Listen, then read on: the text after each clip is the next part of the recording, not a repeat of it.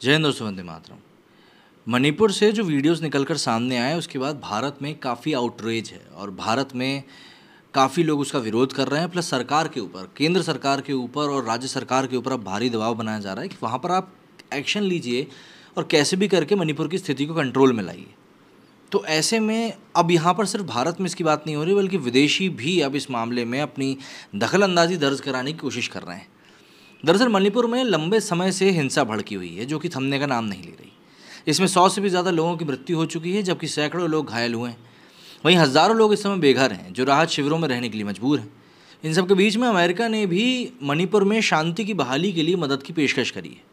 भारत में अमेरिकी राजदूत ने गुरुवार को कहा कि मणिपुर में हिंसा एक मानवीय समस्या है, और उन्होंने पूर्वोत्तर राज्य में शांति बहाल होने की प्रार्थना भी करी। कोलकाता में अमेरिकन सेंटर में प्रेस कॉन्फ्रेंस के दौरान अमेरिकी राजदूत एरिक गार्सेटी ने कहा कि मुझे पहले मणिपुर के बारे में बोलने दीजिए। हम वहाँ शांति के लिए प्रार्थना करते हैं। जब आप हमसे संयुक्त राज्य अमेरिका की चिंता के बारे में पूछते हैं तो मुझे नहीं लगता कि ये कोई राजनीतिक समस्या है। मुझे लगता है कि एक मानवीय समस्या है। उन्होंने कहा कि मुझे नहीं लगता कि जब हम बच्चों और व्यक्तियों को उस तरह की हिंसा में मरते हुए देखते हैं, जो हम इस समय मणिपुर में देख रहे हैं तो हमें इसकी चिंता करने के लिए भारतीय होने की ज़रूरत नहीं है। हम जानते हैं कि शांति कई अन्य अच्छी चीज़ों के लिए मिसाल है। यहाँ पूर्वोत्तर और पूर्व में कई अन्य अच्छी चीज़ें हैं, और वे शांति के बिना जारी नहीं रह सकती। अमेरिका अमेरिका की सहायता की पेशकश करते हुए उन्होंने आगे कहा कि अगर पूछा जाए तो हम किसी भी तरह से सहायता करने के लिए तैयार हैं। हम जानते हैं कि ये एक भारतीय मसला है और हम शांति के लिए प्रार्थना करेंगे, और ये जल्दी होगा, क्योंकि अगर वे मतलब मणिपुर के लोग शांति कायम करते हैं तो हम अधिक सहयोग, अधिक परियोजनाएँ और अधिक निवेश ला सकते हैं। उन्होंने आगे कहा कि एक बहुत स्पष्ट संदेश है, जो मैं भारत को देना चाहता हूँ और वो ये है कि भारत के पूर्व और भारत के उत्तर पूर्व राज्य अमेरिका के लिए मायने रखते हैं। यहाँ के लोग, यहाँ की जगह हैं, इनकी क्षमता और इनका भविष्य हमारे लिए काफ़ी ज़्यादा मायने रखता है।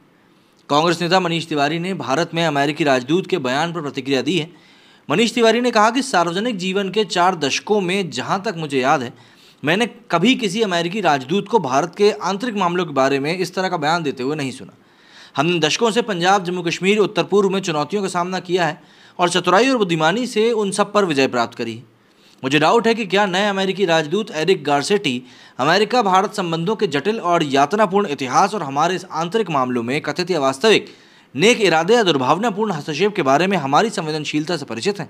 बता दें कि अनुसूचित जनजाति का दर्जा देने की मैतई समुदाय की मांग के विरोध में तीन मई को पहाड़ी जिलों में आदिवासी एकजुटता मार्च आयोजित किया जाने के बाद राज्य में पहली बार हिंसा भड़क उठी थी।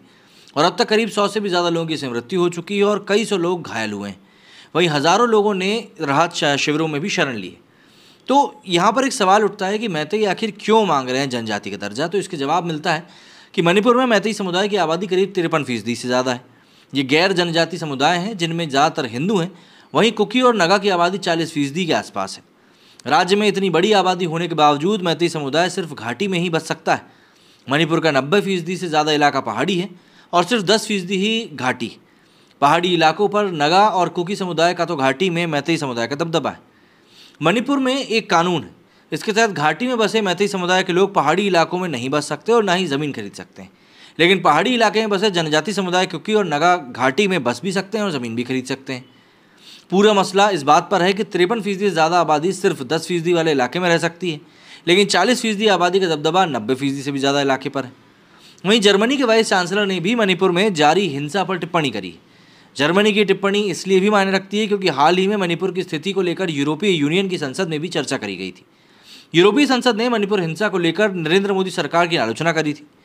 ब्रसेल्स स्थित यूरोपीय संसद में 12 जुलाई को छह संसदीय दलों ने एक प्रस्ताव पेश किया था, जिसमें मणिपुर हिंसा नहीं रोक पाने के लिए मोदी सरकार और उनकी पार्टी, बीजेपी की आलोचना करी गई थी।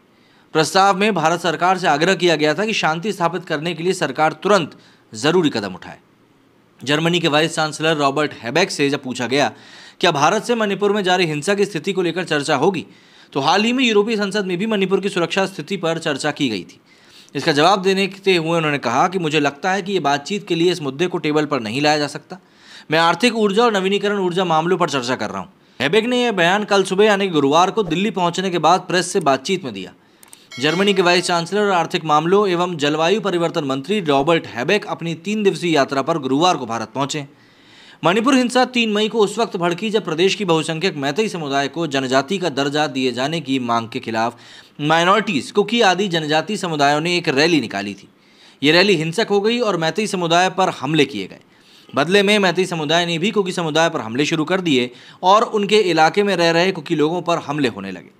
उनके घरों को जला दिया गया और उधर कुकी लोगों ने भी अपने इलाके में रह रहे मैथिली लोगों पर हमले शुरू कर दिए। और इसी के बाद ये पूरा मामला बढ़ता गया बढ़ता गया बढ़ता गया और आज स्थिति ये आ गई है कि स्थिति बहुत ज़्यादा भयावह हो गई। मेरे सुनी फ़िलहाल इतना ही। जय हिंद, जय भारत।